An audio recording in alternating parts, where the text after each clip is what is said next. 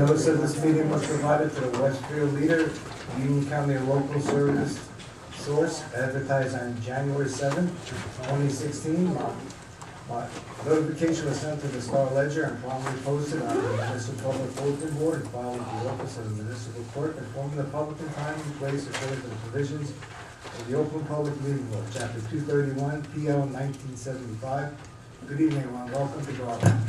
Evening, Mayor. Uh, First, I'd like to swear in our new officer, my honor and pleasure to do that. Please step to the microphone and someone that's gonna hold the Bible for you.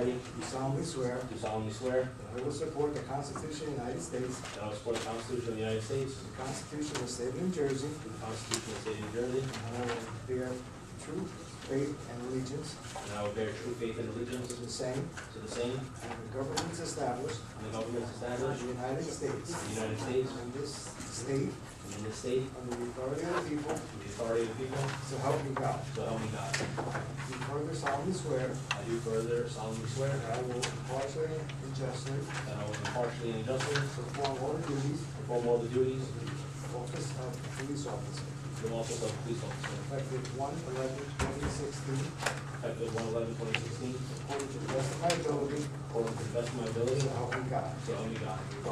Thank you, sir.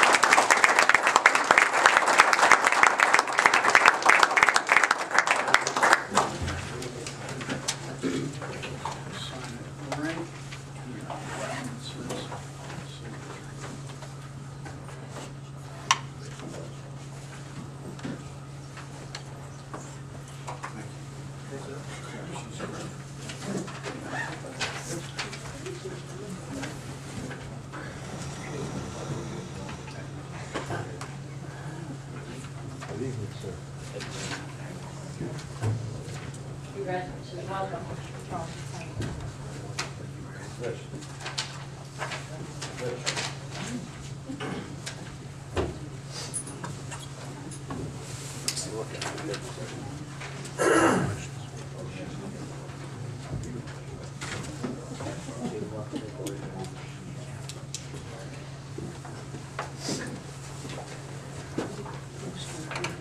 Anybody else?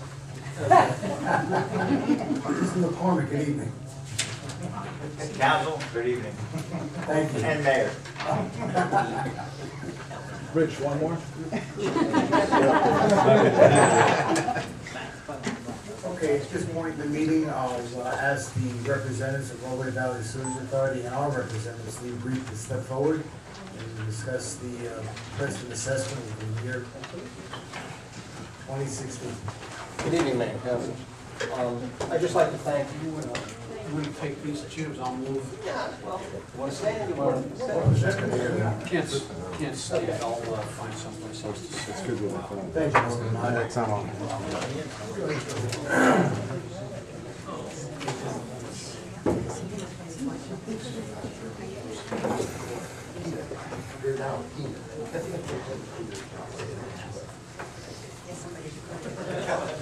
Uh, Thank you, Mayor I just, I'd just like to take this time while I have to uh, thank you, all the same folks for coming out. I mean, that's not something that's that's mandated, but they're quite willing to go to any of the municipalities to, uh, to be expla- explanative and any questions that they may have uh, for council and to the board. And I have to, I have to praise these guys. They do a uh, tremendous job. They do it year, they've been doing it for five years. We've had a good director for the past five years, and Jim has been just outstanding. Um, With that, um, I know some of you have some, some questions, but I'd just like to uh, just introduce, and uh, Jim Bean is the executive director, uh, Bob McTurnan, secretary treasurer, we have Anthony um, um, and he's the regulation compliance, and John Barnatar is the chief engineer. Um, Again, thank you, and with that, I'll turn it over to, yes, whoever Uh, I can just say a couple of things. I- I would imagine that there's probably two questions. The first one being, why did our assessment go up this year when our flow actually went down? And we can answer that, and we'll elaborate on that a little bit uh, further into things. The second question is probably, what can we expect next year? And we can talk about that as well. Um, But I'll let you go ahead and ask some questions, uh, and we'll be glad to answer them. Any member of council have a question at this moment? I just have a quick question, while I have you here anyway. Um, Thank you all again for coming. I'm- I think this is about the third or fourth time I've met you all, and I appreciate your time. I think it benefits the council and the mayor as well as the public, so it's really great to have you here. Um, uh, We were definitely happy to hear that the amount had actually gone down a bit from the first assessment to, as about maybe a month ago that we learned it actually decreased a bit more. Uh, Could you explain why that decrease came about? Did you use more of your fund balance, or Yes, could you shed some I- light on answer that? that. What happened was, when we first estimated the draft budget, it was on eleven months worth of data. When the twelfth month came in, and it- we had such a warm, uh, couple of weeks there, our gas prices greatly impacted the, the numbers that came in at the end of the year. Uh, And there were two things that allowed us to drop it hundred and fifty thousand dollars. Number one, it was the gas prices, and we dropped hundred thousand dollars off the budget actually gave it back from last year's budget. Uh, In addition to that, there was fifty thousand dollars. We kind of rolled the dice a little bit. We actually received uh, leachate from the Monmouth County landfill, and we get paid for that. We've done very well with it. Uh, But unfortunately, for- us, unfortunately, they're building a treatment facility, and they're gonna pipe it somewhere else. So next year, it's kind of a a gamble as to how long, how much longer they'll be coming to us. Uh, we, we actually said, we, we could count on about fifty thousand dollars in the first draft that came out. And they've had some treatment problems uh, due to a high ammonia number. So I said, you know what, they're gonna be at least another month. Put another fifty thousand dollars in, in there for, for the, uh, as income. And that will offset it, a total of hundred and fifty thousand dollars. Uh, The increase from fifteen to sixteen overall on our budget was ninety-one thousand dollars. I have a, a couple of charts and graphs that I'll hand out, uh, and be glad to talk about what we've done over the last five years. But I'm sure what you're really concerned about is what impacts quality. So, so go ahead if you have anything else. All right, well, let me hand this out. It, it, it shows you what we've done, over the last five years. And we, we've actually done pretty well. We, we went through this with our board. We went through this with our board to explain where we've gone in the last four years and to total things up.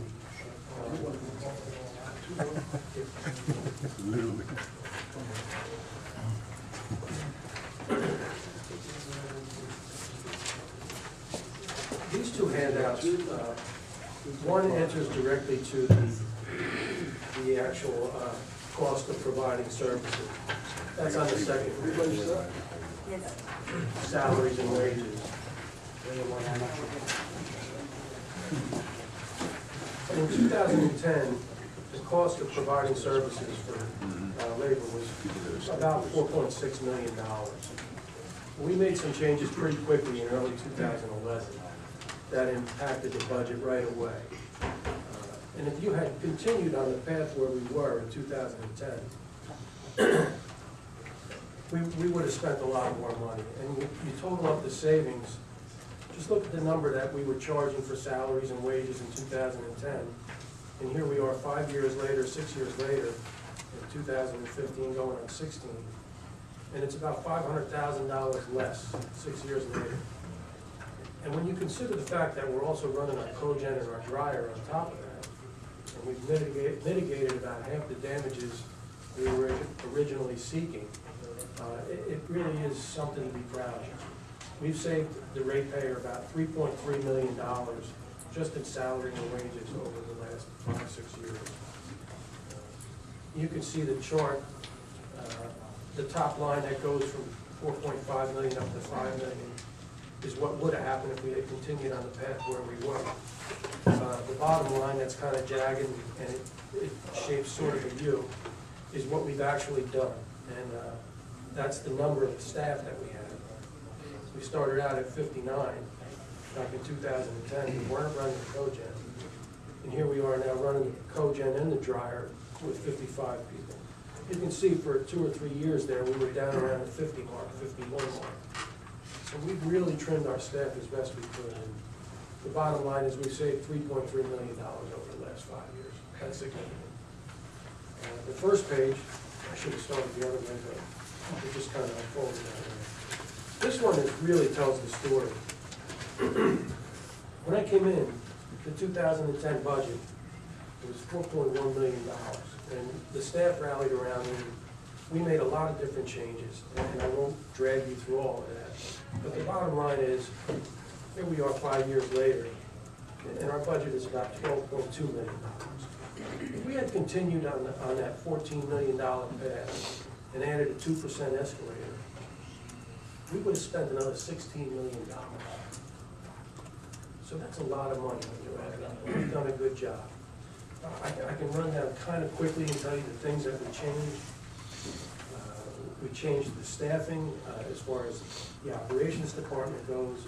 We went from fifteen operators to nine operators. We insisted that they all have licenses. We paid them a small stipend uh, to encourage them to get it, and it benefited both us and them. We were able to cut our overtime in half.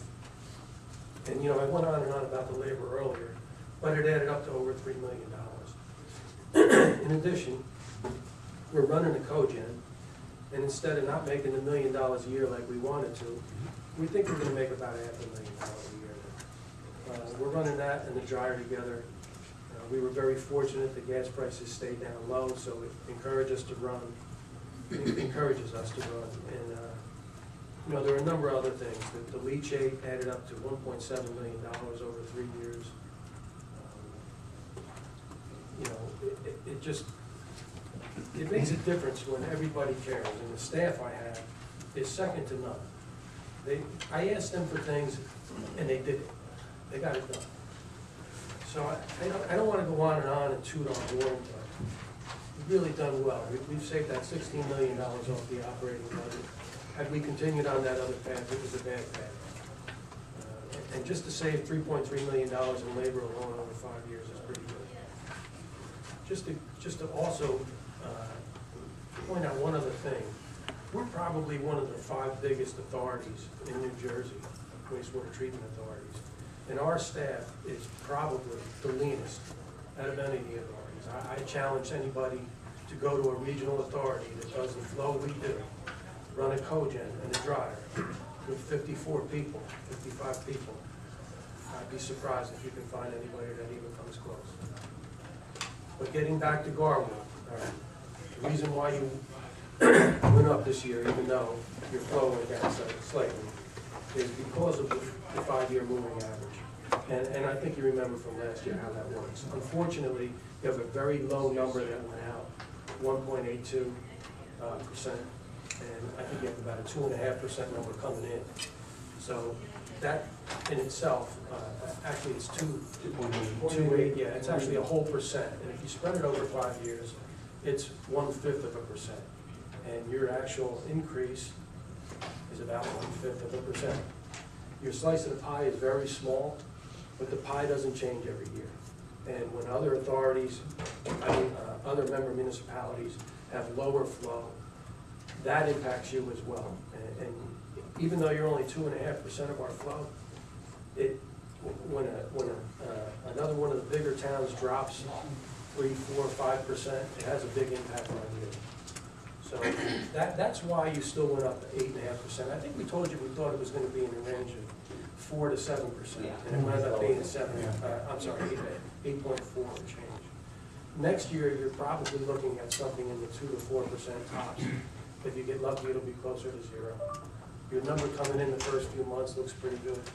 John, if you want to speak about that a little bit, you could. Um, yeah, as uh, Jim mentioned, yeah, this year again, you were hurt by that really low number you had in 2010.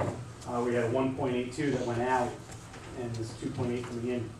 Uh, it looks like next year, uh, as of now, if the trends continue the way they are after only three months of measuring, uh, it's about a 2.07, 2.1, uh, which brings your five-year moving average down to two point six.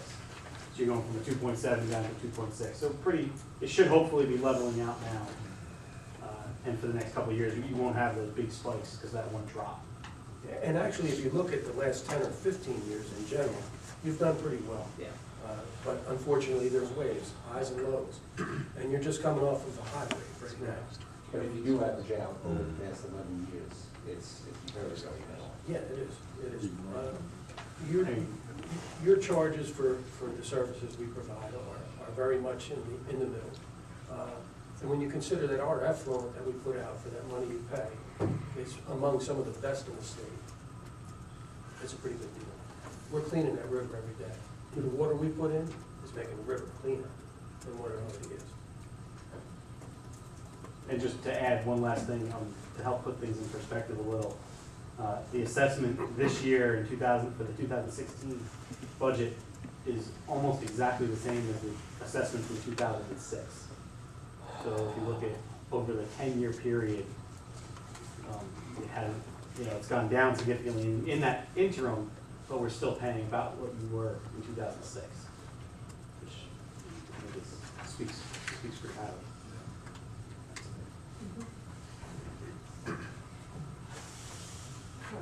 I do have a, just a couple of follow-up questions and a comment. Uh, my comment is that, uh, definitely from what you've shared, especially when it comes to staffing, sounds like you guys definitely made some tough decisions over the years to save money in the long run, and, uh, it is paying off.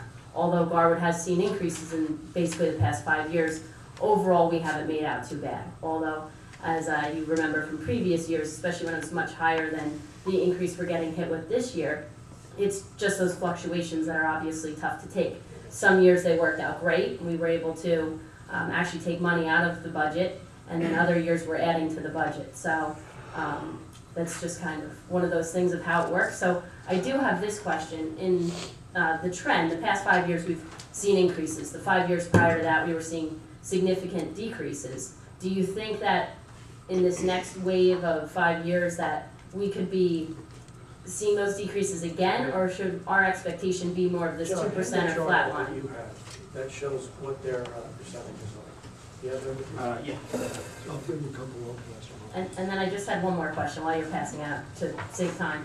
Uh, do you think that we feel more of the brunt of a change because we're a small municipality in this system, rather than if we were a larger municipality? Yes. We do, Yes. okay. So that's why we will see the greater percentage, maybe both ways increase as well as decrease. That's right. Your Okay. stamp will be big on both sides. Okay, And and you, you benefited from that, I think, from 2010, 2012, or something, 13. And then not you're on quite the that much, but upswing. close. But, Yeah. yeah, If you look Right. at the chart that John has, you can see that your number uh, is starting to fall off at the Okay. end of the graph.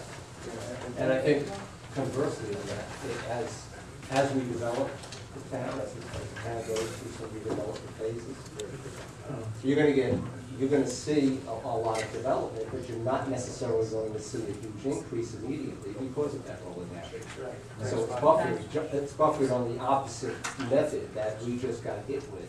Even though we had no or very little development, we were seeing increases. You may have a lot of development and not see that huge increase. Mm-hmm, interesting point. And just to give a little history, when Middleland Industries was going full force, we were having numbers in the four point percentage uh, category. Right. And now you're at uh, roughly two and a half. Yeah, two point one. Did that shut down somewhere around two thousand and six? That sounds about right to me. Right. Because on this, as you as you can see from this chart, there's a three-line Yeah, flow, BOD, and TSS.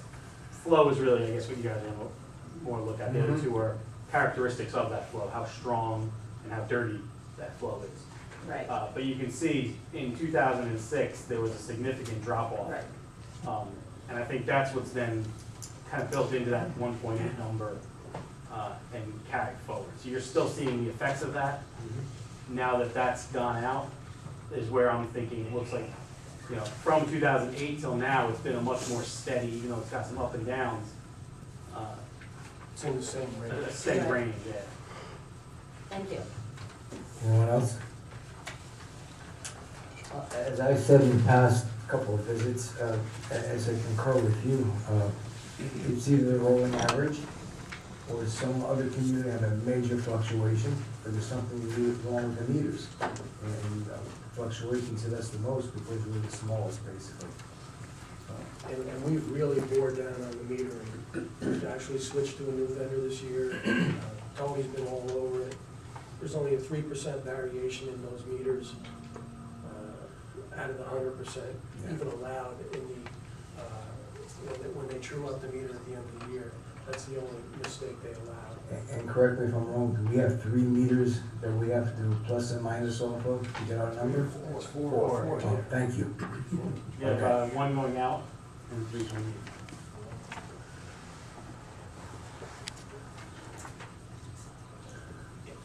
Anyone else? Last call. Thank you, gentlemen. Appreciate it. Uh, One second.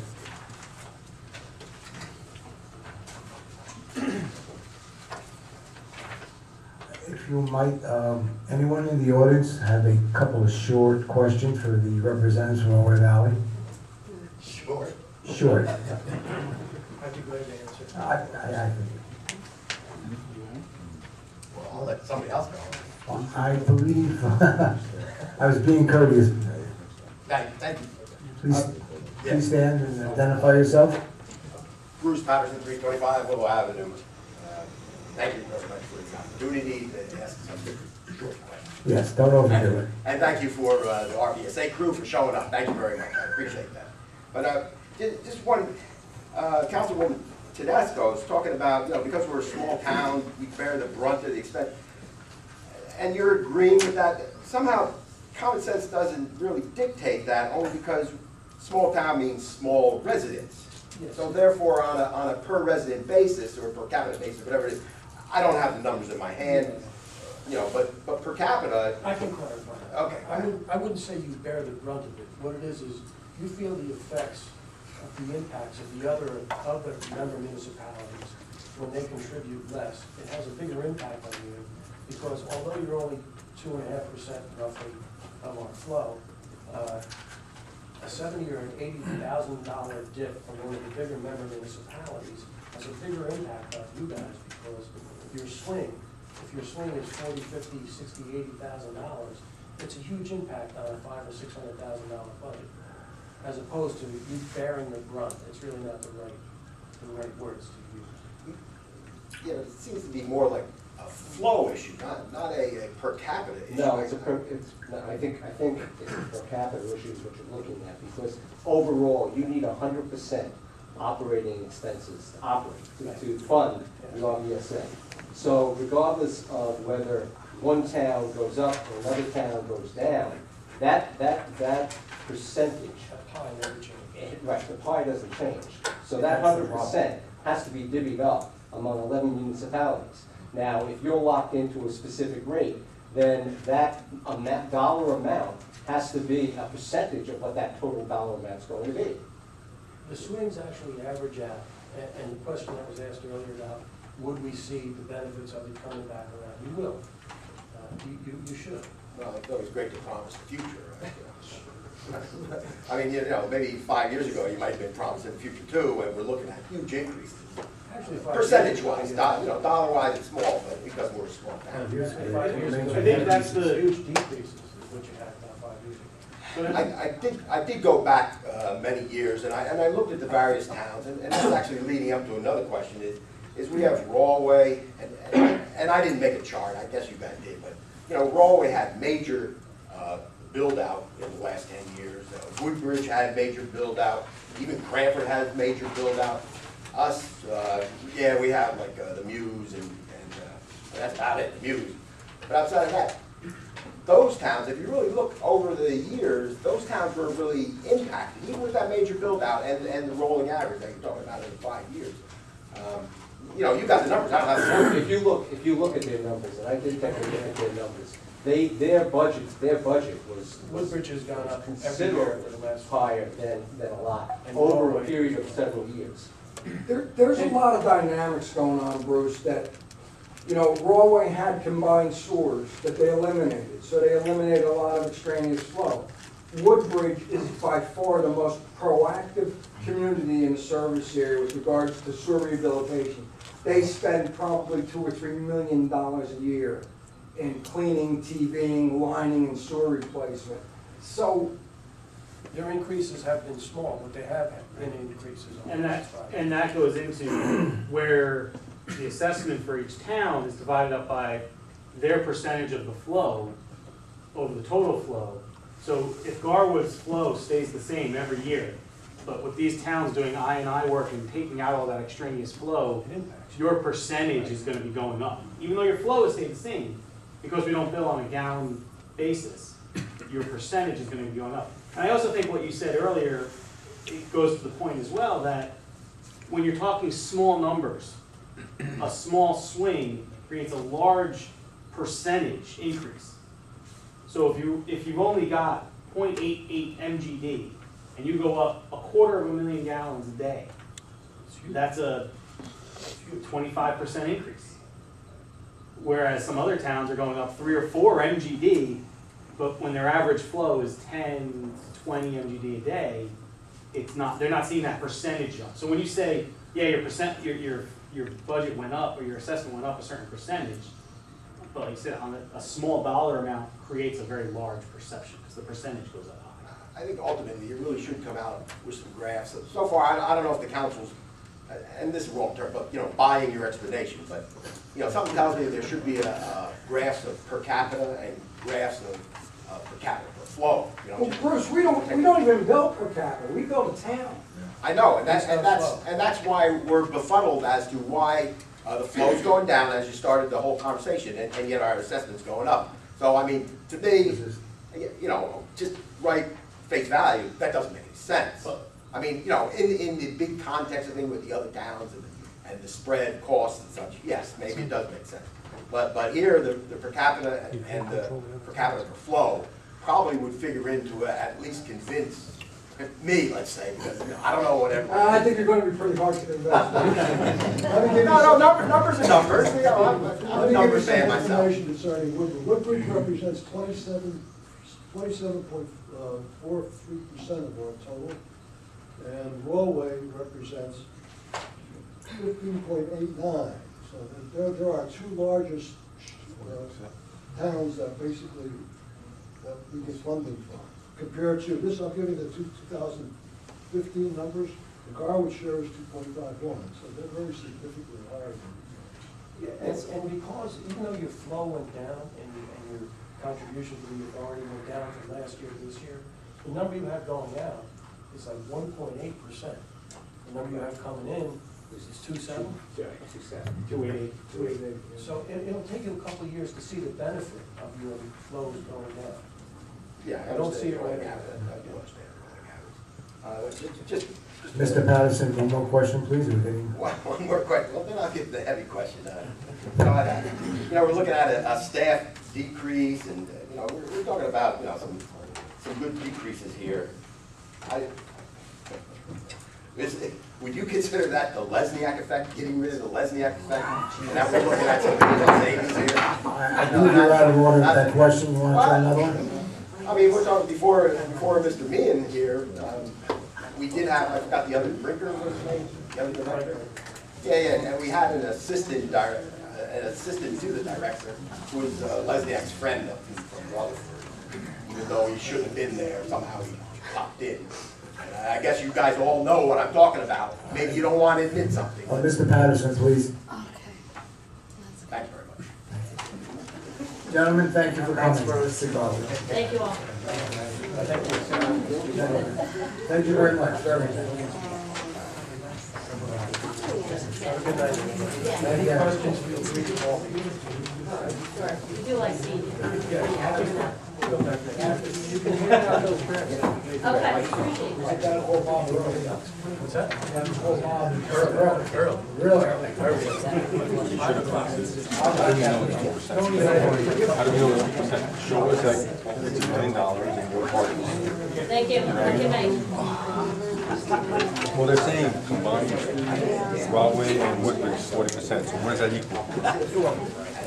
And, You know, then do the math and we can ensure that our, we're really paying. Thank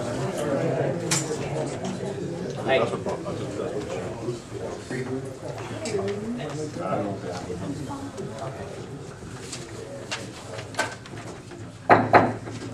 We'll continue on, Mr. Renard, you have a report for us this evening? Thanks, Mayor. Uh, The fire inspection fee ordinance is done. I guess that'll be ready for uh, introduction at the next meeting. And um, we're going to have a uh, executive session discussion on the affordable housing uh, litigation, uh, in addition to, as I understand it, a number of other matters uh, later on in the proceedings. Okay. So that, uh, that's all I have to report. Okay, Thank you, we will do the executive session at the end of the meeting, so. Okay. Okay? Any questions for Mr. Renard this evening?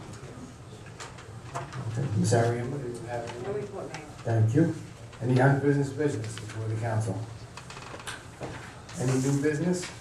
I just have a couple of items. It is with regret that I have accepted the resignation of Tom Spur as the mayor's representative to the OEM Council as a radiological officer. I personally would like to thank Tom for many years of his service and wish him well in his future endeavors. I will be appointing Lieutenant Sam Rockwell to replace Mr. Sparrow for the balance of the year 2016. As a follow-up to the announcement at the last council meeting, a hard copy of the application from the Union County Infrastructure and Municipal Aid Grant Program has been mailed out to us. The application is due uh, as a deadline of Friday, February 26, 2016. As mentioned before, the focus remains on municipal roadways. I must commend our DPW, fire, police, OEM, and first aid members for their dedication and endurance during last week's historical blizzard. Even, even through, we received twenty-four plus inches of snow. We had minimal impact to the borough.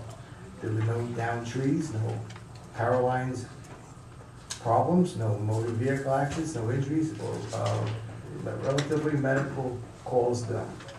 Last but not least, I will commend the great residents of Garwood.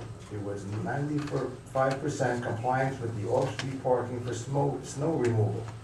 The Department of Public Works is still in full action for snow removal and widening of streets because of the huge amount of snow accumulation, in addition to their regular garbage pickup. Thank you sincerely to all for their full cooperation in this matter. That's all I have this evening.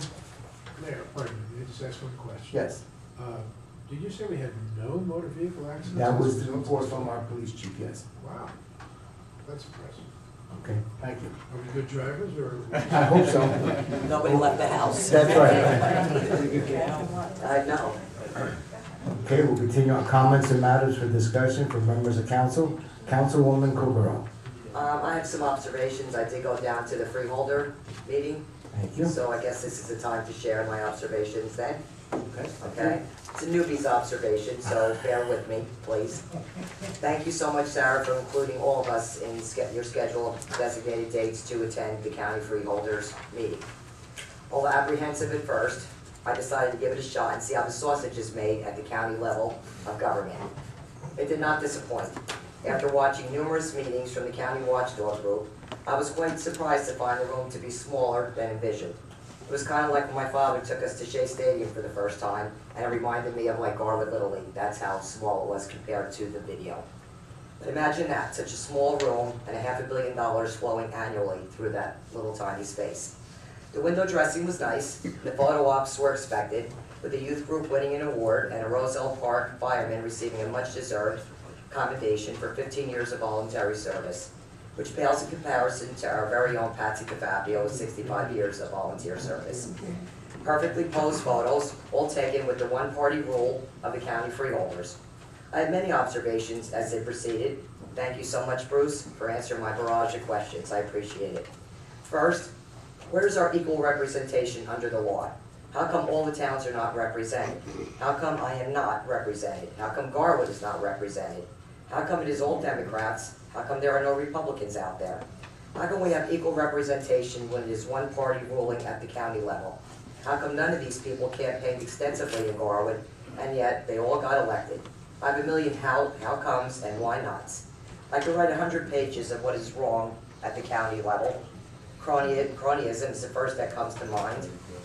I watched a bucket of contracts that were given out for million dollar, for millions of dollars to contributors to all their campaigns. So how come they did not need Garwood? I suppose there were not enough contributors from our small town. These are all obviously hypothetical questions, as I know the answers to some. I'm not really, I'm not really sure what goes on at the county level without showing up on a continued basis. And quite frankly, after this first meeting in my lifetime, first time I've been there, I felt like I needed another shower once I left. I watched people speak that were ignored, responses that were inadequate or not answered at all. A small group controlling all the millions of dollars doled out to the select group. All at the expense of us, the empty pockets of their constituents. So again, I ask, how come they did not campaign much in Garwood? And we're still elected. Our money is good enough to take, pretty much by force, but we're not good enough to meet the people that are going to be doing the taking. I want to thank- Bruce once again for holding their feet to the fire by asking nonstop questions that were not answered. Maybe you have stronger constitution than me. I don't like the way the sausage is made. I must leave it to all of us to keep an eye on how our money is mishandled. I will also do my duty and attend this meeting when it is my turn to do so, as delegated by my fellow councilwoman. But I don't have to elect, and I assume I will report back the same observation. How come they do not care about Garwood but continue to take such a huge portion of our money? Thanks, Mayor. That's my observation, it's the first time going to that room. Thanks for coming. My pleasure. Thank you, Councilwoman. Thank you. Councilman Martin? What did I ask? It's your turn to speak. Would you like to s- have any comments? Oh, no, no, Council? no, no, Thank don't. I you. thought that was an excellent report. No, Oh, no, thank you. You're fine. It was fun. Councilman Matthew? Uh, nothing to report, Mayor. Thank you. Councilman Sarno? Yes, the only thing I want to do is just kind of reiterate what the mayor said, and say thank you to all the emergency and essential personnel that were out there. I mean, job well done, I mean, the amount of hours that were put in there, through a massive storm, I mean, we're talking thirty plus inches in this area, depending where you measure, and the snow drifts even higher, so that was very nice, and, you know, you go out there on Sunday morning, I'm on the back end of Willow, and all the houses are close together, and to see Garwood come together in that morning, really neat, and I'm glad that we were able to work together, shovel together, and, um, overall make a difference and get, uh, the shovel out, of the- or shovel the snow out of the way. Thank you for your comments. Thank you. Uh, Councilwoman Tedesco? Thank you, Mayor. I have an item. Um, I first would like to definitely thank all our emergency personnel from the police department, fire department, uh, to the DPW, as well as the first aid squad. They were out there on the, uh, bullhorn, letting everyone know to remove their cars off the street for the snow that was coming. And I was, uh, fortunate enough to spend my Saturday from ten AM to four thirty PM with the DPW actually out there as they were plowing. I was riding in a couple different trucks. And uh, last year, when I was chairman of Streets and Roads, I had actually asked, hey, whenever you want to pick me up, I'm ready. But it never ended up working out. That's okay. But I got to do it this time, so I stayed out there plenty, I think. Although part of me wanted to stay a full shift just to see what it really felt like to work 18 hours straight because these gentlemen down there really deserve our, um, our gratitude for that dedication. And um, it was really a very eye-opening experience. Fortunately, there weren't really that many cars on the road, but there were some in that state of emergency. And I think that, you know, the police department did a great job reaching out to residents via Nixle and uh, UC First Alert and everything. But still, unfortunately, there were some motorists out there. Um, and then I also went around uh, for the, the second half, pretty much of my uh, Saturday plowing um, with the DPW superintendent who was here, and uh, he went through why he was doing what he was doing with plowing, and it was really a educational experience going through that storm. And um, I have to say, when you see it firsthand, you know, you're seeing the snow come down so fast, so heavy, and they would plow a street, you go back 30 minutes later, you really couldn't even tell if it was recently plowed, where it really fell, but they just were nonstop at it, at as many streets as fast as they could while being safe. And um, it was quite the experience for myself, very eye-opening. And I um, thank the DPW for letting me go on that ride along and want to commend them for all their hard work. Thanks, Thank you, Mayor. Councilman. Okay, Council President, Petroselli. Yes, Mayor. Uh, The only thing I want to bring up is, um, we have, uh, over at Arthur Johnson High School, they have a project graduation that comes up in uh, 2016. Uh, My one, my daughter uh, was a part of that, and this is something that they do every year uh, for the kids, and it's basically right after graduation. Uh, The students are transported to a recreation, a recreational facility by bus, and um, they have a planned um, uh, activities, and sporting events and games, and food and refreshments, and it keeps all of the graduating class uh, all together. I think that that's a good thing to do. It keeps them, you know, out of trouble, you know, if something like that, uh, you know, is uh, what they want to do. But uh, I, I just want to get a sense from council, uh, how much of a donation you guys actually wanted to give to this. Uh, I don't think that we've done it in the past, uh, but I think it's uh, definitely something that, that we should uh, start to do. So I don't know if anybody has a- an actual suggestion as far as how much, but I was thinking maybe a hundred dollars or something like that, 'cause, uh, I think it's an appropriate amount. I think it's a with. Sounds All right. good. Yes. Personal. Okay, yes, all right, thank you. Uh, Council President, I have to, of course, agree with that and just say, I was part of that Arthur L. Johnson project graduation uh, this year. Thanks, Mayor. 2006. Public information, right? Good to share that. All right, Thank you. Okay, we'll move on. Uh, Public comments. Is there anyone in the audience that wishes to address the mayor and council? Please step to the microphone, sign in, state your full name and address. Please limit your comments to three minutes. Yeah, it hurts.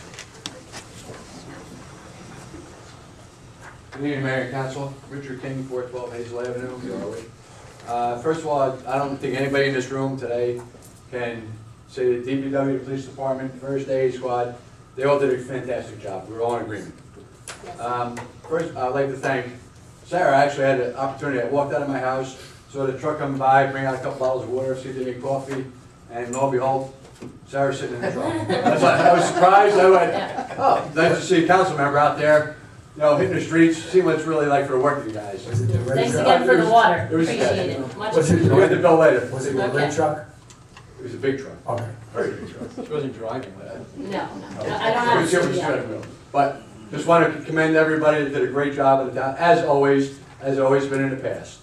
Um, Secondly, um, the amount of effort that went into the DPW workers is unparalleled. If you drive outside of Garwood, west, east, north, south, I don't care which way you go, you're not gonna find a street that is as clean as Garwood streets. Right. These people did a fantastic job, even with the new supervision, even with the new, new, everything in place. Fantastic job as always. Yeah. Haven't missed a beat. Yeah. Thank you. Anyone else like to step forward?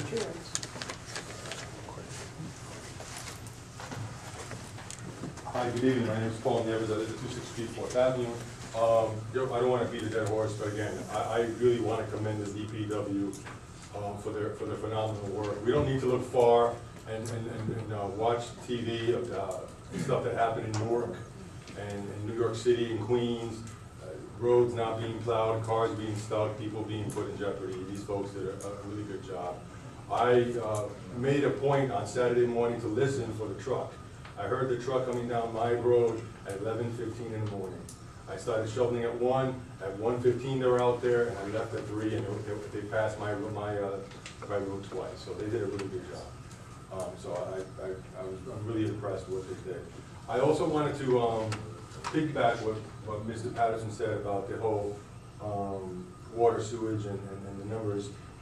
Not, not that I agree that they don't make sense, but it, it is sort of counterintuitive that our flow would go down, but our numbers would go up. Um, and the gentleman that's, that was, that was here, uh, yeah, I don't know his name, but he spouted out two numbers. He said that, I believe, um, uh, one town, I think Rahway was fourteen percent, and the other town that was, Woodbridge was Woodbridge was fifteen, a total of forty percent, and we're only two percent. And I don't have the numbers that, I don't have the numbers that they gave you, but my question is, we're paying two percent of what? And how do we know for sure that we're paying our adequate two percent? Um, I think that's the question that I would probably be focused on more. The two percent is from, uh, as they mentioned, it's a one hundred percent budget, it's pay two percent of the total budget.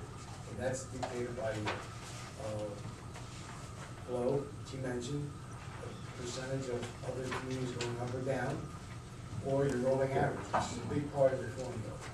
There are three components that, that we Yeah, and I, and I I would also encourage that whatever information they gave you to maybe be made public, so people would alleviate any concerns that they might have. Thank you. Thank you. Anyone else? Bill Nierstead, three twenty Hickory Avenue. Um, I'll echo what everyone else has said about uh, all the, uh, the DPW, police and fire, but I wanted to just bring up one little detail.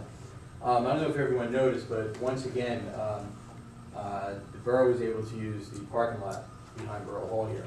Now, um, we still call it the Casal parking lot, um, but as you know, it's owned by Russo Development. Casal was kind enough to allow the borough residents to use it uh, in times of emergency, and uh, Russo was this year also. The reason I'm bringing it up is because I want to stress to council, okay, that I was adamant, okay, about the council uh, retaining the abilities and the domain for that exact purpose.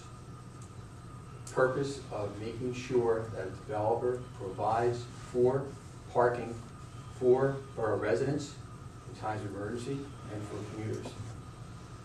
Next year, we'll be in a whole different story in terms of development. And I fought to keep that parking lot or a new parking lot for borough residents. And I would just like to ask the entire council, uh, I won't single anyone out, I'd like to ask the entire council, if that parking lot was not there, and the borough did not retain its abilities to force the developer to provide emergency parking for Garwood residents, where would we place Garwood residents' cars in times of emergency? And I'll leave it at that. Thank you. Thank you. Anyone else?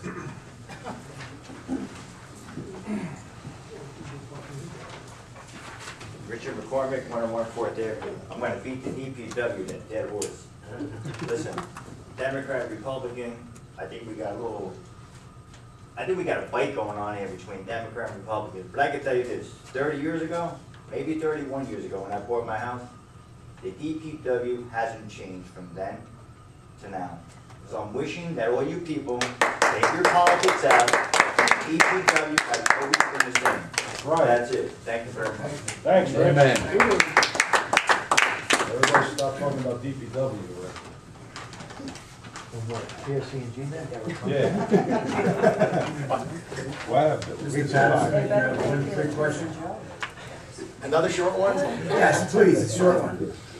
How come we don't sign our names anymore? How about that? That's your question? All right, got, uh, good That's your evening. question. uh, Because sometimes you can't read them. Good evening. Good evening, Mayor uh, Lombardo and Yes, members of the council. Yes. Um, Just, just a couple things, Uh, you know, obviously, there's donations now, uh, Lou, Councilwoman Petroselli brought up the donation. That's Uh, Much like the give back of the stipend to be a personal choice, it sounds like donations also should be a personal choice. Uh, Here, was that- Lou threw out a hundred dollars and, you know, whether you agree to it or not, it should be a personal choice. Uh, Another one is just the RVSA, just the uh, engineer, he's the only one that really mentioned I and I, and that was just in passing. But But that always, really is a serious issue, and possibly the town should take on some kind of program to curtail the, the I and I issue. Uh, I don't know if they report how much it appears to be in I and I versus uh, wastewater, but, you know, I- I would assume the I and I is a serious issue.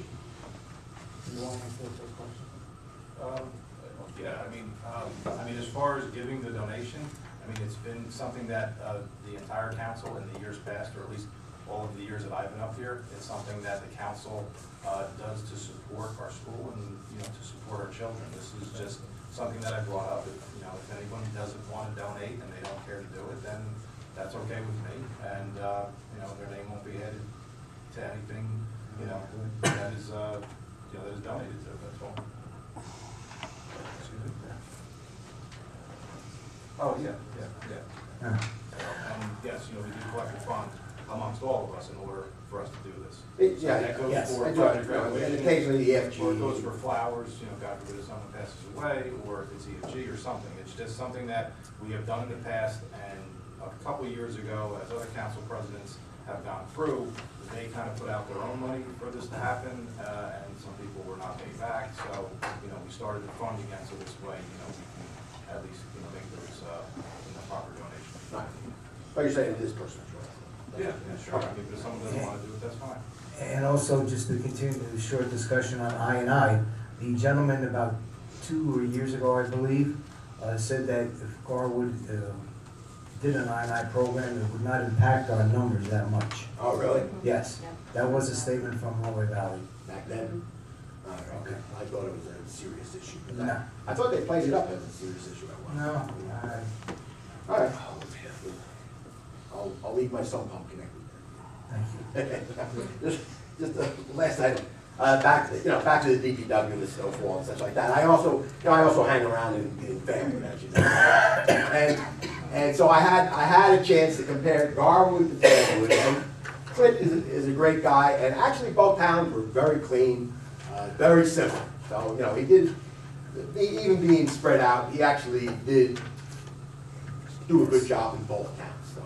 You know, I just want to point that out.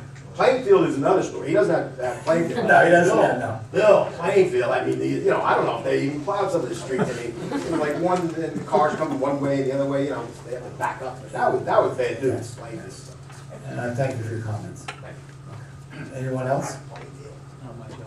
Hearing none, uh, we have a motion to adjourn this meeting. So, second? All in favor? Do we want to continue right to the regular meeting?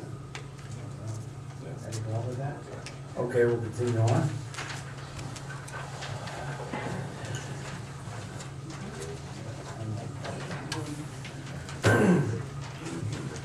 Please rise for a moment of silence and salute to the flag.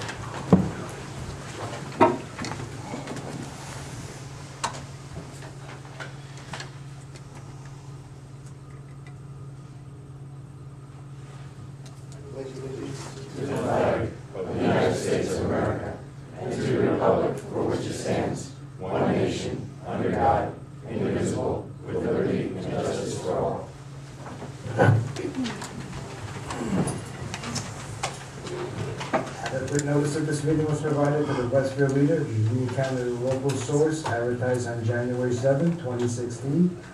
Notification was sent to the Star Ledger and promptly posted on the municipal public bulletin board and filed in the office of the municipal clerk, informing the public of time and place according to the revisions of the Open Public Meeting Law, Chapter 231, PL 1975. Uh, Once again, please turn off or your phone on vibrate as a courtesy to the audience. Roll call, Ms. Ariemma. Mayor Lombardo. Here. Councilman Kukrow. Here. Councilman Martin. Here. Councilman Matthews. Here. Councilman Sarno. Here. Councilman Fisto. Here. And Council President Christopher Here. Ms. Ariemma, minutes, please. Regular workshop and executive session minutes of the mayor and council held on January twelfth, twenty sixteen. Do you have a motion? So moved. Second. All in favor? Aye. Communications, Ms. Ariemma. New Jersey State League of Municipalities Mayor's Advisory. Receive and file. Bruce Patterson memo from Bruce Patterson concerning density in the development of North and South Avenue. Receive and file. Pete Saluka, councilmember stipend. Receive and file. Township of Cranford ordinance. Receive and file. Rahway Valley School Authority minutes. Receive and file. And Garwood Planning Board minutes. Receive and file. I see we have no ordinances this evening. Council standing committee reports and other reports. Councilman police. Thank you, Mayor. Uh, First, I want to offer uh, um, best of luck to Officer Pridey um, as he disembarks on his new journey here in Garwood. Um, Job well done to the police department and all central emergency personnel uh, for doing the blizzard. And we have some uh, figures and facts from uh, Chief Underhill. Um, Winter Storm Jonas arrived with a sustained blast of snow. Fortunately, there were no reported downed trees, no power outages, no motor vehicle accidents, no injuries or related medical calls, and I know this was um, echoed before.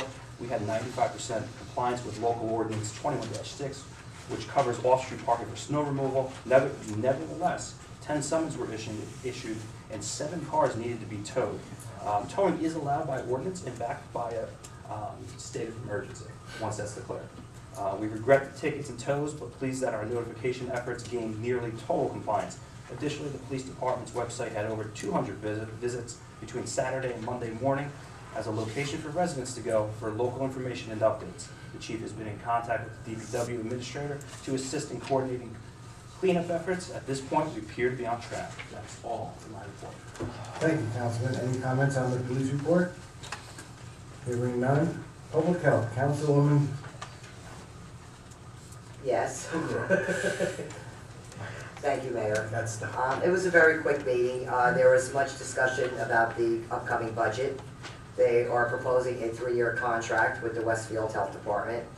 Also that was discussed ex- extensively was a Garwood food establishment that has been cited multiple times for health violations. They have been closed previously for two days. Proposal is being made that if there are any further violations, they will consider a five-day closure. Warnings and fines have not deterred them. Flu vaccines are way down, and they are figuring that maybe Walgreens can pick up the slack with that, because they seem to be the biggest supplier of flu vaccines, and since they have gone down so drastically, like almost down to zip, they figured that might be a better option going forward. And that's it, Mayor. Thank you, Councilwoman. Any comments on the uh, Board of Health report? Hearing none. Streets and roads, Council President Petrozelli. Uh, Thank you, Mayor. Uh, The Department of Public Works completed the following from January 13th until January 26th. Uh, Checked and treated recurring uh, sewer lines uh, for routes on a weekly basis. Miscellaneous uh, public works vehicle and equipment as needed. Uh, Remove miscellaneous roadside debris along North and South Avenues. Uh, On other miscellaneous activities, uh, they also removed the holiday decorations from the utility poles along North Avenue and Center Street, cleaned up and removed leaves from the dead end, the dead end of Fourth Avenue, installed snow plows on all public works vehicles and equipment in preparation for the forecasted inclement weather, continued to install the residential parking permit signs in various areas of the borough, performed holiday uh, tree pickup on both sides of the borough on every Wednesday, and and dispose of the trees in the Fanwood Recycling Center, performed de-icing on borough streets, parking lots, school crossings, and sidewalks during the small winter event that happened on January 17th, and continued to clean and organize the entire garage area.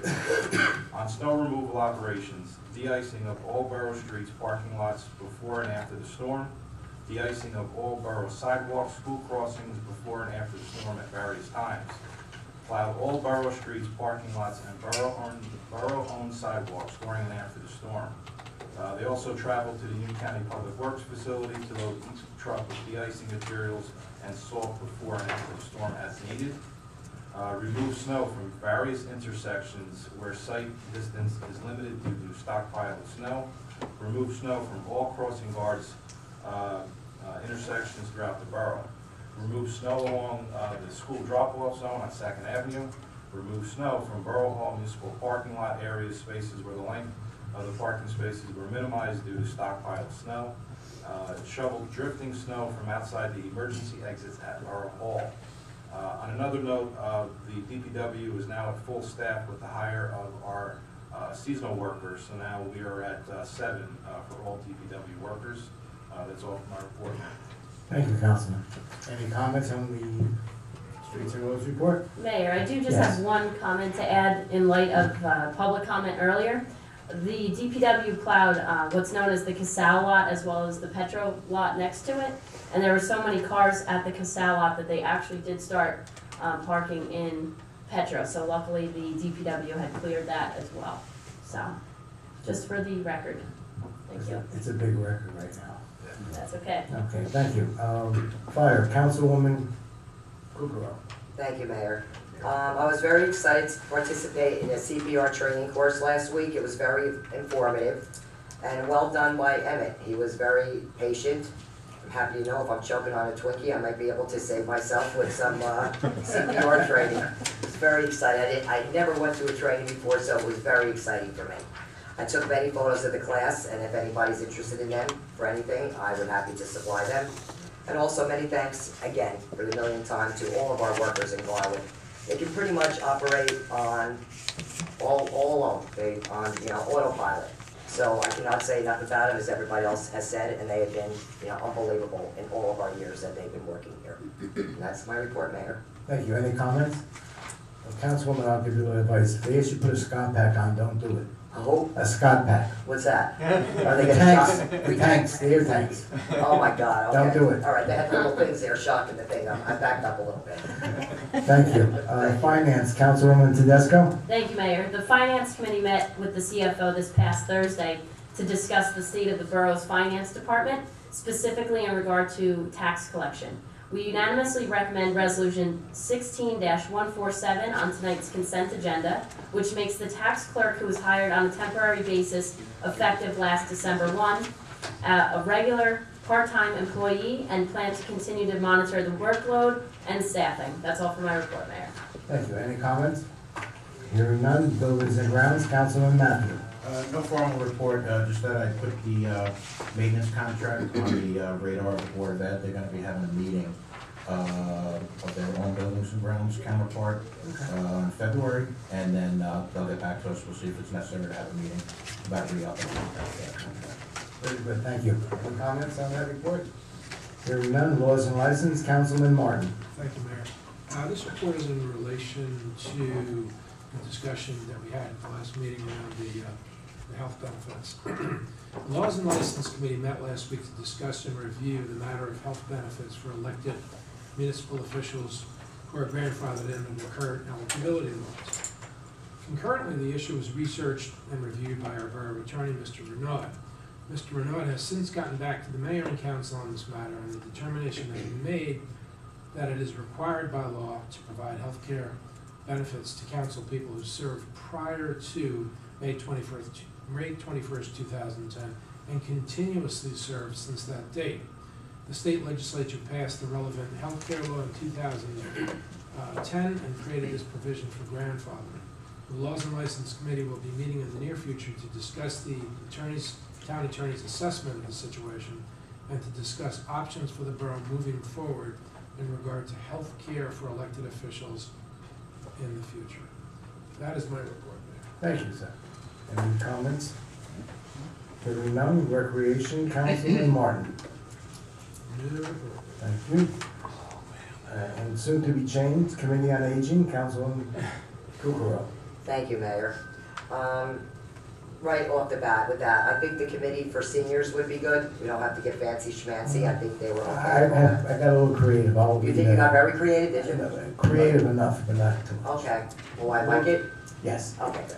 All right, I did speak to, to get back to my report, I did speak to Paulette on multiple occasions, she's away for two weeks now, but she has been working diligently to bring back ceramics and crafts, so she felt very optimistic about that, so I will follow up as soon as she comes back from vacation.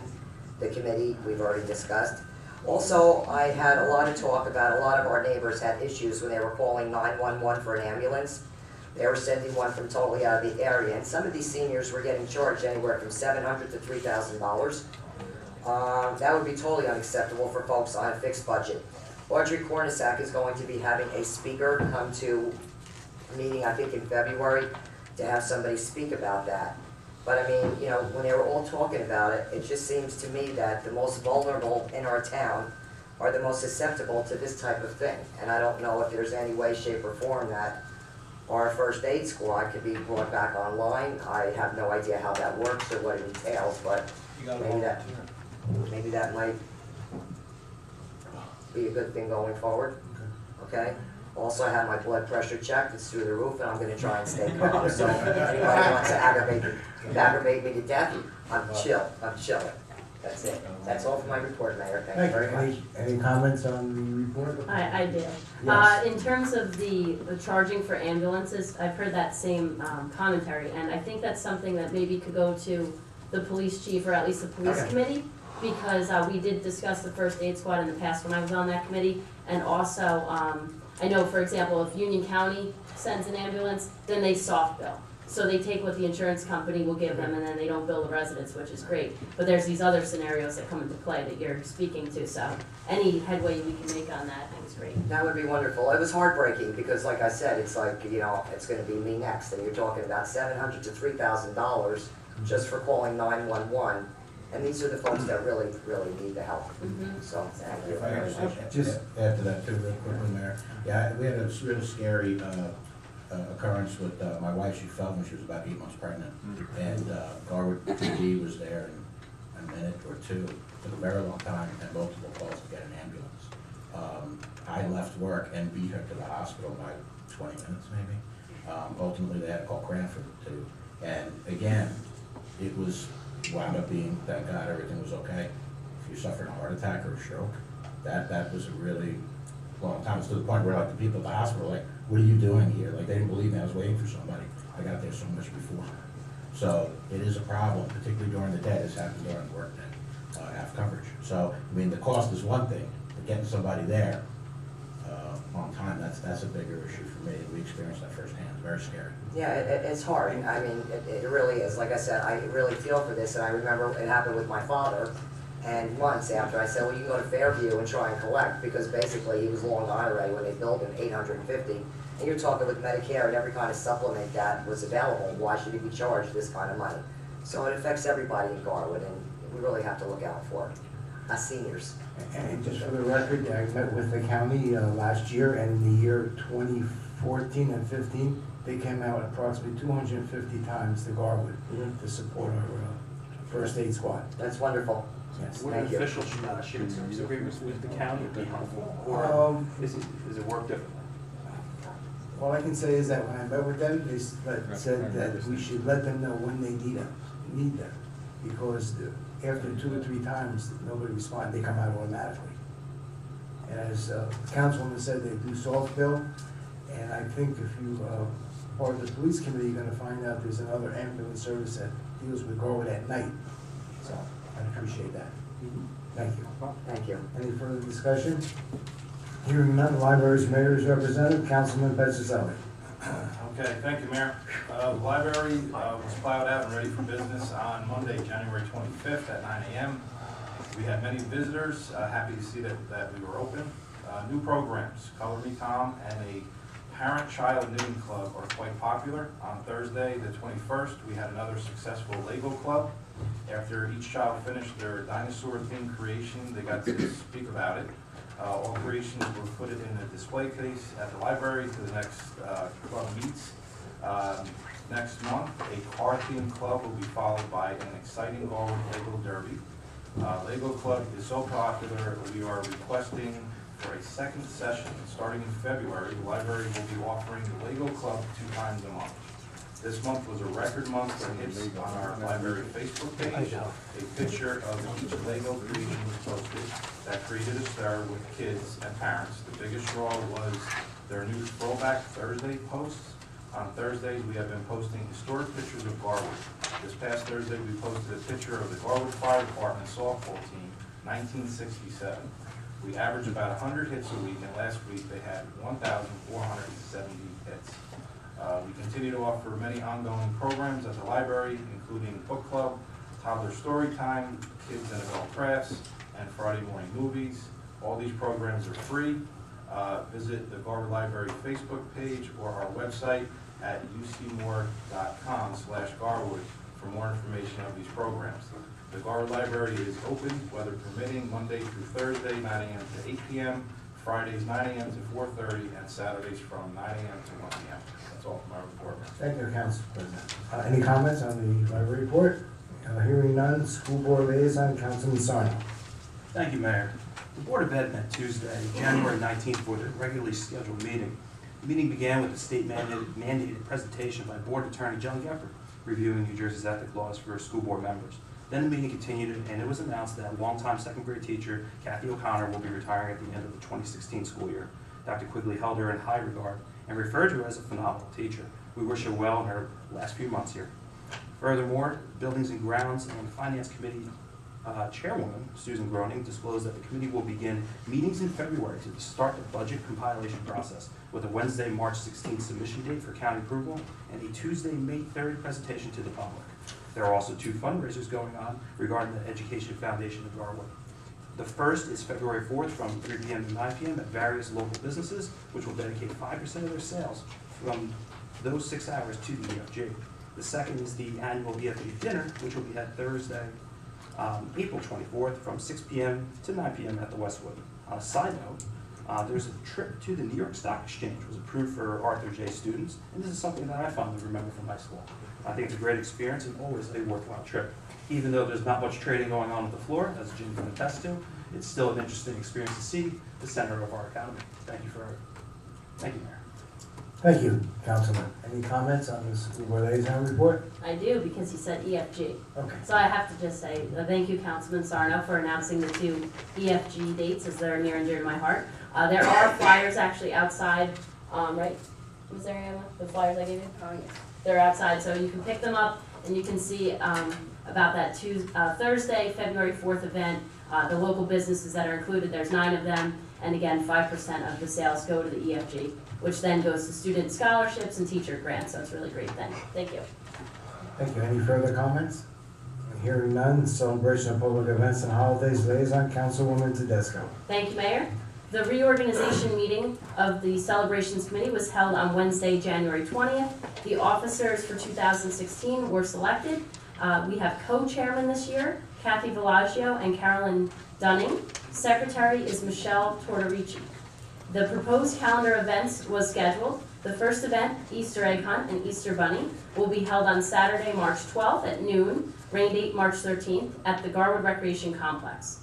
Among the annual events, celebrations will be bringing back the Christmas house decorating contest, as they did last year with the Hal- Halloween house decorating contest. If you wish to participate, you must register with the committee. The Celebrations Committee will be creating a Facebook page to keep residents informed of the events. The page will be administered by two members of the committee, Sue Groning and Rosanna Acosta. The name of the page will be Garwood Celebrations Committee. That's all for my report, Mayor. Thank you. Any comments? Hearing none, we'll continue on Union County Air Traffic Noise Advisory Board Representative, Councilman Matthew. Uh, no report, Mayor. Thank you. Administrative Review Committee, Councilwoman Todisco. No report, Mayor. Historical Committee, Councilwoman Todisco. No report, Mayor. Meeting early February. February February first or second? Second. He's the Okay. president. Thank you, Mr. President. Okay, uh, officers report, Ms. Ariemma. Chief of Police Bruce Underhill, monthly report for December 2015, Municipal Court Administrator Martha Marino, monthly report for December 2015. Motion to accept? So moved. Second. All in favor? Aye. Is there anyone in the audience who wishes to address the mayor and council? Please step to the microphone. Please limit your comments to three minutes.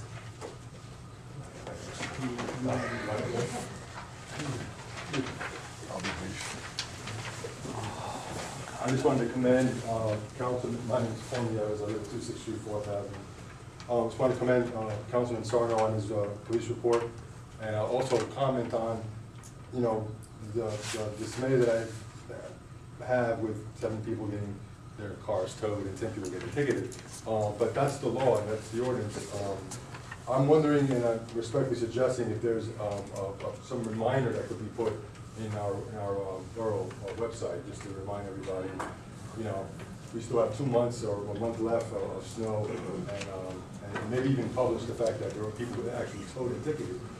Um, Also, I walked around our town, and I noticed that, uh, that there were some sidewalks that were not shoveled.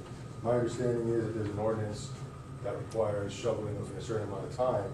And um, this dovetails into um, Councilwoman Cookero's uh, section. I was wondering, as I was seeing these properties not shoveled, if they weren't weren't shoveled because of the citizens not being able to. In other words, they're being maybe too old or not having adequate assistance. And it'd be a shame to ticket someone that couldn't do it. So we live in a small enough community that I'm thinking that maybe we should maybe have a list of people that might need help.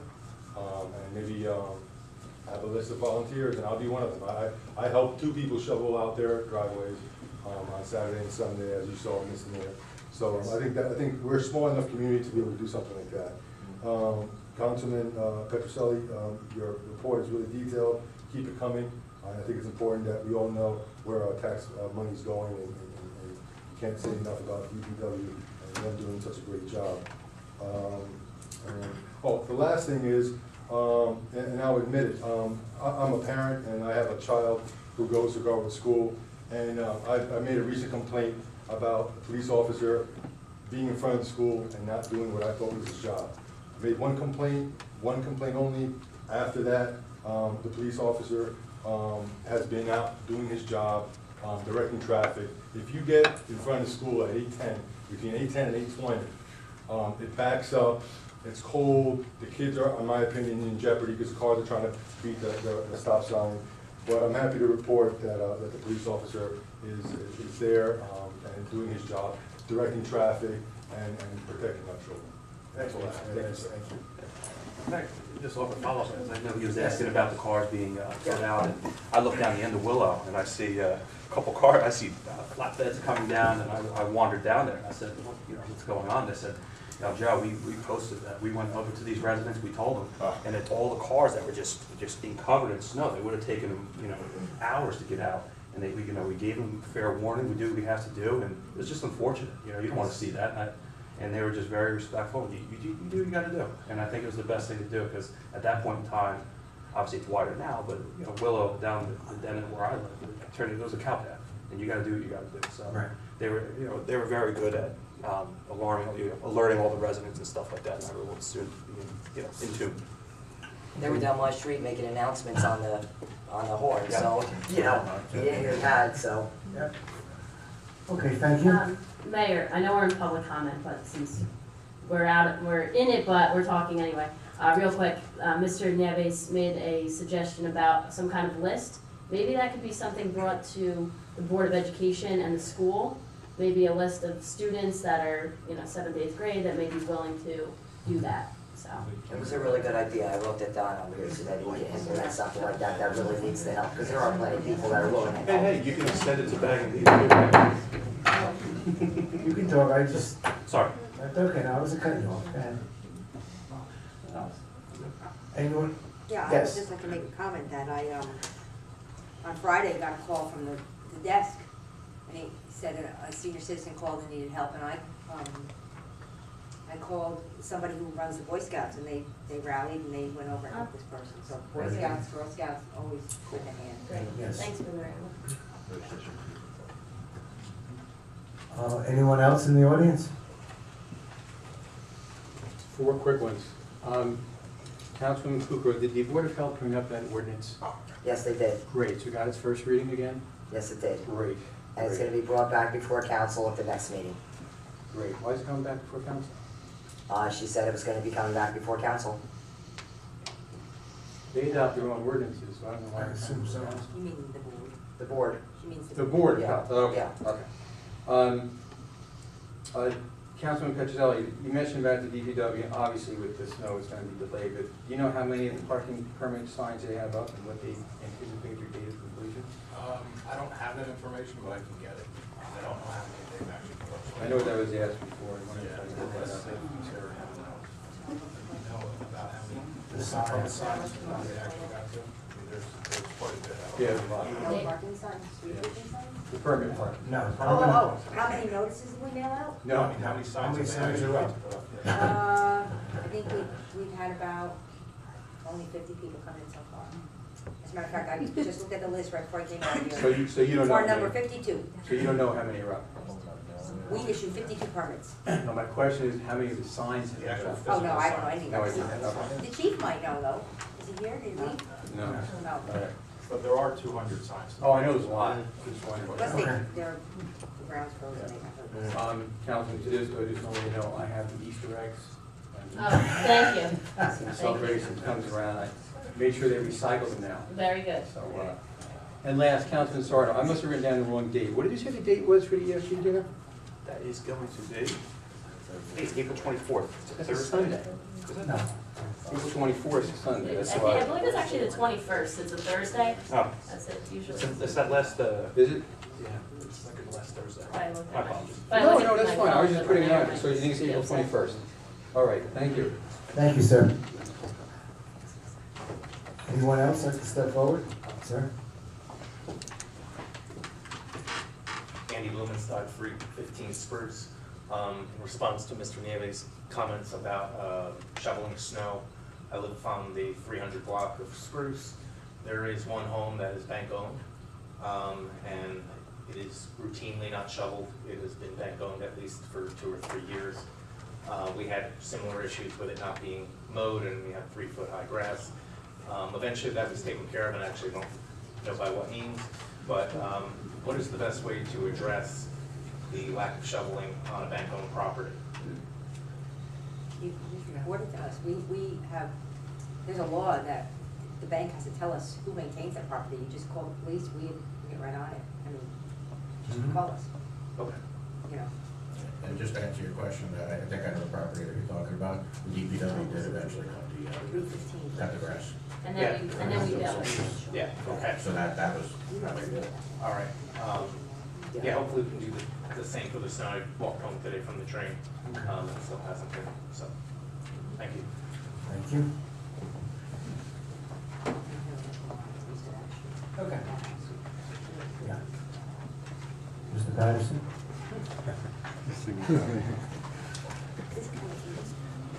I- I don't want to burden you with our problems, we have an executive session after this. Oh, I'm crying for you, that I'm not assuring people through this. Now, now, I'll go with you. Mercy. Good evening, Bruce Patterson, three twenty-five Will Avenue. The, um, the ten cars that are, that were towed, actually is an amazingly low number. Um, You know, those on the council and, and the police chief, I kinda remember car, numbers like twenty to forty-five, and we're talking about a state of emergency here, but unless it snows, there's. And I also remember over almost three hundred tickets were given out too at one time. Yeah, yeah, so, so I mean, you know, Mr. Davis is saying, you know, how, how can we notify the people? I mean, it sounds- sure sounds like the people are notified, and there's always, there will always be that handful. As, as the councilman said and myself, over ninety-five percent, you know, the, the proper thing by removing their cars. Yeah, so the residents, you know, re- residents are well Be informed, commended. and that's good, I, you know, I like that. Also saves us money as taxpayers. The, the other thing, the- the ambulance, um, that you were talking about, yeah, the county, the county does have a, uh, uh, two actually ambulance squads, one's over in Westfield, the other's in Linden, so they, they expanded, and they put another in Linden, I think, a year ago. So, I mean, there is that opportunity, uh, for Garwood to be served by Union County. Two hundred and fifty per year, last two years.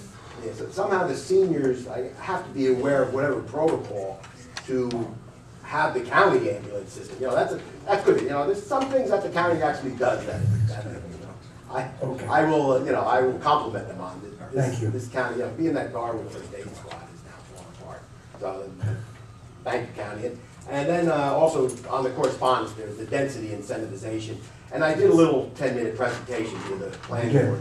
And, and for the council, I've got a copy of it. It's just, it's a matter of, um, what the developer proposed was like over three hundred units. And the planning board right now is kind of working from the top down with the density. Well, my proposal, I'm saying, well, you really should be working from the bottom up to a, a number. Something's definitely gonna be there, everybody agrees to that. And if it's gonna be, um, you know, uh, townhouses or, or multifamily or some high-density, um, residential development, I mean, you really should work from the bottom up. And if you read that, you'll see that Garwood has to benefit. Right now, as the proposal stands, Garwood is getting little benefit outside of uh, meeting the COAH uh, standards.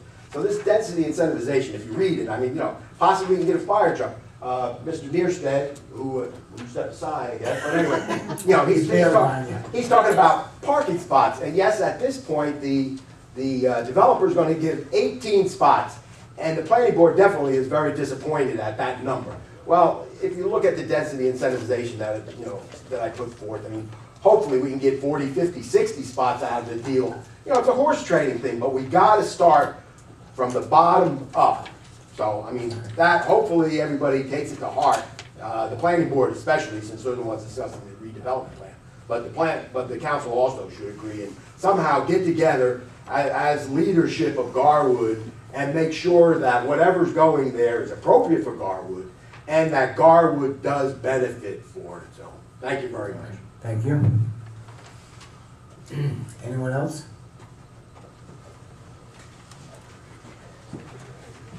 Yes, guy, I guess. Rich McCormick, one oh one Fourth Avenue. Uh, I wanna make sure I get this right. Tradisco? To this, oh, it's okay though. The Teach question is- hundred and twenty-five students, The I know. question is for you. Okay. We have a part-time worker coming on collecting taxes. Is that a new position? Is that somebody helping out with something other? And how does that affect us as taxpayers? Sure. Uh, so in effective November thirtieth, our full-time tax collector retired. And so effective December one, what we did was, on a temporary basis, we had our CFO, who is also certified as a tax collector. And by state law, you need to have a certified tax collector. So she was able to fill that state statute and oversee tax collection, but she needed somebody else to physically do a lot of that work. So a tax clerk was hired temporarily. Now, the resolution on before us tonight is to keep this situation moving forward, so that this employee, um, the tax clerk, will be a regular part-time employee. Um, and we still, based on our vote at reorg, uh, early January, we have our CFO as the tax collector as well. She's in both positions. And this is a savings over previous years with a That's the next part of full-time my comment, tax thank you for your Sure. explanation, and how does that help us, and how did all this go on before this new position came into effect? That would be the second part of that question, or to the council. Right, right. Uh, well, it was brought to our attention that this retirement would be happening two weeks before the date of November thirtieth. And, uh, the council, um, at the time was having executive sessions about this matter. And we also did include the newly elected, uh, council people in on this, so that they've been informed since November about what was going on in our finance department. And it's something where, you know, we had a full-time tax collector there, so of course we wanna monitor what's going on in the finance department to make sure that the work is getting done, you know, properly and see how things go. So as I included in my report, we're monitoring the staffing and the workload, so.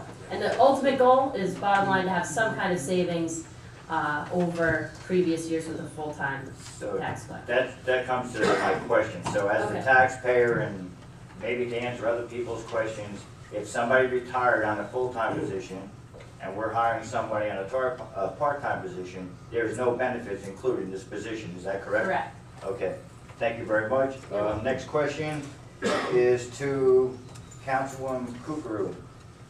I find it very disturbing that I think in ten or fifteen years from now, I might be calling that ambulance. And I think uh, seven hundred dollars to three hundred dollars is a lot of money. I heard some comments behind me. Maybe I was that young guy one time that had a comment, but right now I'm getting to that age where you might need an ambulance. And I think in Garwood, it's, um, it's pretty bad that if we gotta pay seven hundred dollars for somebody to come by and give us some, some oxygen because in the snow, we overexerted ourselves or some other family matter, I think that's, um, pretty disappointing if that would be the word. So I would like to address that, and maybe you guys can take that into some closed session and think about that, so I think that's basically what I wanted to say today. To end this all, uh, I think one day, and I hope everybody's listening to this right now, I think one day I wanna sit up there.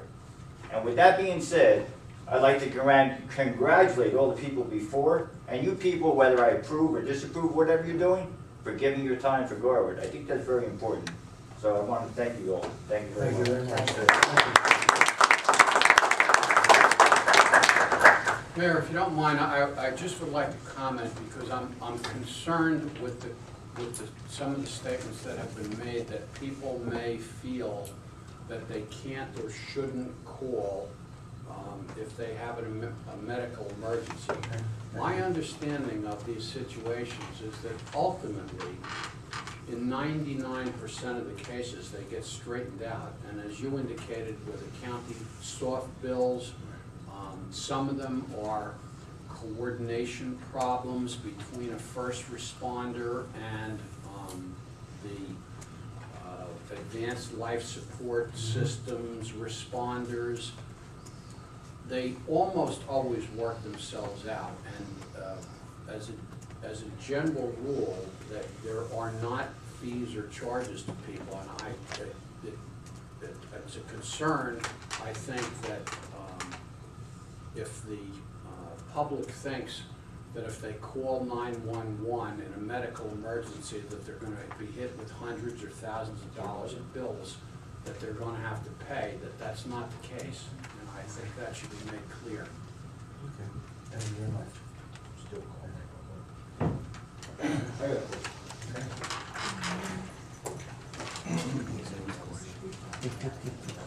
Mike Collins, two thirty-eight Second Avenue. Now, we hear about the first aid squad. Is there a first aid squad in Garwood? I understand Yes. two official members, yes. Two official members. That's correct. That's not running an ambulance, right? I did EMS for twenty years. Who is the ambulance provider for Garwood? Garwood Fire, I'm the, the Garwood First Aid Squad. The two members. The backup. The back, the backup is Union County. Okay. during the day. So we can't wait twenty minutes for an ambulance to arrive, right? Shouldn't, shouldn't we as a town look for a provider solely? We, we shouldn't be reaching out for the Garwood First Aid Squad and letting them get toned down three or four times to see if they can remember when somebody's actually in a cardiac arrest or whatever. As I mentioned before, if we coordinate with the county, they will be here. That was On the something first call. SOP on U- Usually, they wait two or three calls just to be sure that there's nobody coming out other than, and they're definitely here on the third call. It's Okay. Chief, would you like to make a comment on it? Can you comment on this? Just the, the backup is Union County. They respond within a reasonable amount of time. I don't know of anybody who's ever waited twenty minutes. Well, I don't. I could be think wrong, but. will be- I did. Twenty minutes Oh, yeah, for an emergency call? yes. I mean, that's unacceptable. So, And it wasn't the county that responded. No? They had no ambulances available. Okay. Every once in a while, that does happen, and then you have to go out to the different towns. Yep. I mean, it's an unfortunate situation. Well, I, I had an issue at my house, and it was Cranford Fire that actually came. There should be a mutual aid system in place. You know, it's unfortunate, we just don't have the volunteers, these are all volunteer squads. The way around that is to have a paid squad. You have a volunteer fire department. Well, that's something to think about. What happened to all the volunteers? We had a great first aid squad. They, they work a lot, and the, uh, training, the training requirements involved have gone up, liability's gone up. Maybe fundraisers to get more volunteers to pay for the training, maybe, you know. It's not gonna, it's No? not gonna. We've been working on it for a couple of years. It's just, the- the interest has gone down unfortunately. Thank, thank you, Chief. Well, this, Councilman Sarno, and the police, Brinley, would you, uh, continue? Absolutely. Thank you, sir. Can I just ask a question from here? How quick? Very quick. Okay. So if Union County comes to our home, or in my case, Mountainside came, does that bill go to Garwood? No, no, no. Okay, so we're always gonna have a responder, that is why I'm getting to the question, is that correct? Yes, Yes, the, the individual squads have, have mutual aid pacts between themselves. In other words, it's just like what the fire departments do. There's always somebody there who's gonna respond, it's just finding that person. The, uh, immediate response comes from the county. Normally, they're pretty good. I, it's one of the first complaints I've ever heard. But, uh, you know, twenty minutes for an emergency call is out of the question.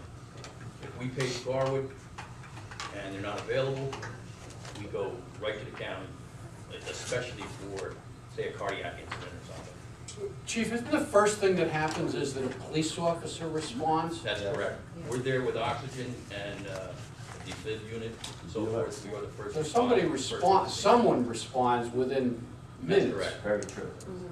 Whether you need a Band-Aid or whether you need, uh, a defibrillator, we're there. You're, people are not, uh, you know, just left on their own, waiting for twenty minutes and nobody shows up. That's correct. Thank you. Thank you. Okay, seeing no one else, we'll continue on in the meeting. The consent agenda. Do I have a motion to uh, adopt the consent agenda? So moved? Do I have a second? Second. Roll call, Ms. Ariemma. Councilman Kukrow. Aye. Councilman Martin. Councilman Matthew. Aye. Councilman Sarno. Aye. Councilman Todisco. Aye. And Council President Petruzzelli. Aye. Thank you. And there's no resolution released from the consent agenda. Okay. Uh, Anyone have any new business for the council this evening? Hearing none, payment of claims. Be resolved, the following claims as approved, be and the same are hereby ordered paid and properly signed and ratified. And the payment of payrolls as listed is hereby confirmed and ratified. We have a motion to adopt payment of claims. So Second? Roll call, please, Ms. Ariemma. Councilman Kukrow. Aye. Councilman Martin. Councilman Matthew. Aye. Councilman Sarno. Aye. Councilman Todisco. Aye. And Council President Petruzzelli. Aye. Uh, Ms. Ariemma, our uh, resolution to go into the executive session. Yes, Mayor. Closed session resolution authorizing the executive session for the purpose of discussing litigation on affordable housing Niedermeyer versus the Borough of Garwood, and personnel matters regarding the PDA grievance and matters of attorney-client privilege relating to the above in accordance with NJSA ten four. Closed session meetings open to the public, including the public subject to matter, whereas it's necessary for the mayor and council of Borough of Garwood an executive session closed to the public in order to discuss the matters. Now therefore be resolved that the council of the Borough of Garwood hereby moves towards executive session in accordance with the provisions of the Open Public Meetings Act for the purpose of discussing the the subject stated above. And be it further resolved that the matters discussed in and the minutes of the closed session shall be disclosed to the public when the reason of confidentiality no longer exists. Do you have a motion to go in? Do have a second? Second. All in favor? Aye. Thank you. Roll call, roll call. Roll call, please. Thank Councilman you. Yes. Councilman Martin. Councilman Matthew. Aye. Councilman Sarno. Aye. Councilman Fisco. Aye. Councilman President. Zoe, roll call was on that resolution sixteen forty. Okay. Conference room? Yep.